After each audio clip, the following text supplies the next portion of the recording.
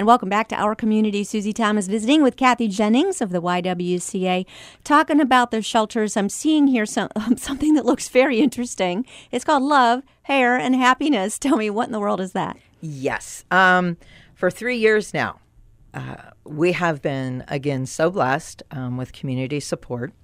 And a uh, Yvonne Reese, who um, owns a salon here in town, she has put together a group of volunteers, um, and it is amazing 40 to 50 volunteers. Mm. And they put together a Sunday, and it just happened last weekend, where all of our people that are involved in any of our housing programs, plus Refuge of Hope, which is just down the Get the street men in there us, well, yes. oh yes, Mhm. is that from 11 until 4 last Sunday, we had about approximately 120 people come through through Refuge of Hope and through our services, and they received a hot meal, um, goodie bags, as Yvonne loves to call them, full of all different kinds of things um, to help them and to support them. Um, they had a delicious sweets table that had everything from homemade goodies to bought goodies. Um, And then the big part of it is is giving haircuts manicures. Um, and she has approximately 20 to 30 that um, hairdressers barbers manicurists and even chair massages um, that they come in and they are treated to that um, all free. And it is Wow. it is amazing to watch the transformation of people and when they see it and someone cares enough to do this it again validates them that they are special that they are a person and that someone really cares. Um, and it just it's such a cool day. And of course the kids that are in our programs come in. And the um, uh, snow princesses are there. And they're all in costumes. And the the little ones just walk in and they just they're they're it takes all the stress Yes. of being five years old and being homeless. Um, they can be kids for that day. And what's really cool is they have this down to such a great thing um, for the residents and for those that, that get to come in that day that they even greet each one with a rose as they come through the Oh my goodness. So it is it it is an amazing day that again is put together by all volunteers mm-hmm. and by just a group of people that come in and give their all that day. You know, what does it say to you about what you are doing that other people come on board and say, We'd love to do this and help you and help your clients. And we'd love to do this. Um, I'm thinking of a, a recent Mardi Gras, just taking care of people's Yes. undergarments. That's right. Um, from Simply Give. Um, Yes. that, that other organizations want to hook up with you. What does that say to you about what you're doing? It says that what we are doing in the community is needed and that people know we're there and that people know that it is a service that we can't do it by ourselves. And that if they come in and do this that we are building a better Stark County. Um, because these are the people that belong to Stark County. Yes. and these are the folks that too long have lived under our radar that deserve to have that chance, deserve to be treated like a person, deserve to be recognized. And our community, and, and it is such a blessing because I get to witness this. Yeah, yeah. And, it, and it is. And it, and it always astounds me whether it's someone dropping off a donation um, for our donation room, um, which donations can be dropped off uh, Monday through Friday. And we have help unloading um, from about 8.30 in the morning till 3 in the afternoon if you need that. But, you know, it, it amazes me because somebody will come in and say, hey, you know, something happened or we're moving, we're downsizing.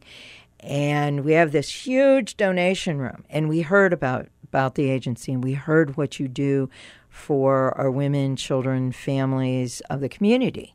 And so anybody that uses any of our services um, can go into our donation room. And we have everything. Yeah, let's talk about that. It looks like a store. It does. and it's and it's organized so cute, Yes. like a boutique. It is. Um, and you do have everything, but what kinds of things do you need? Is there anything that you need on a regular basis that there seems to be more demand for than other things?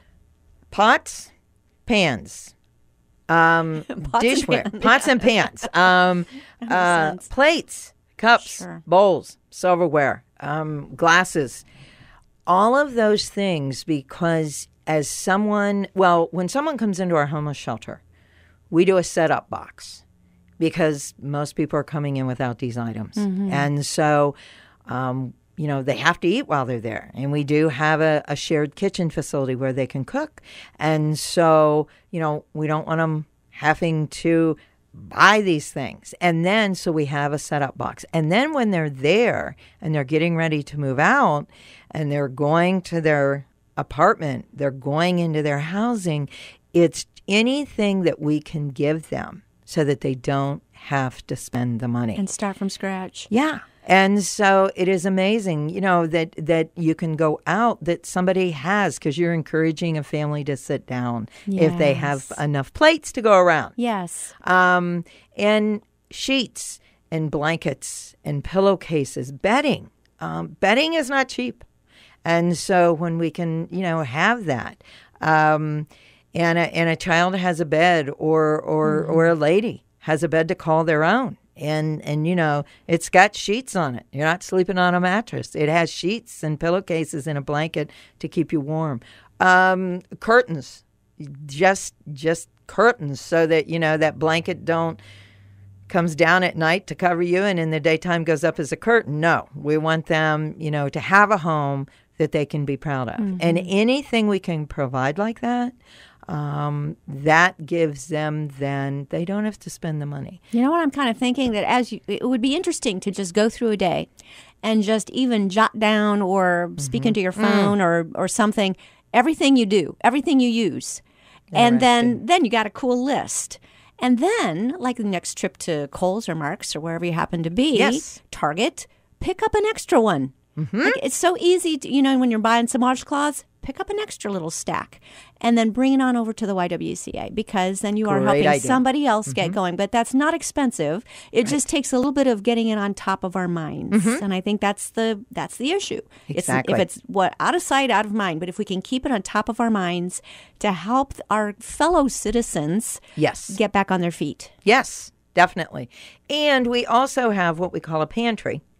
And that has, um, we have canned goods, non perishables, um, soaps, shampoos, toothpaste, toothbrushes, deodorant, Feminine hygiene Jane, items. Yes. Um, all of those things. Um, because again, the less money they have to spend while they're living there, they can save. Yes. And then they're going to be much better successful when they move out. Let's talk about the school.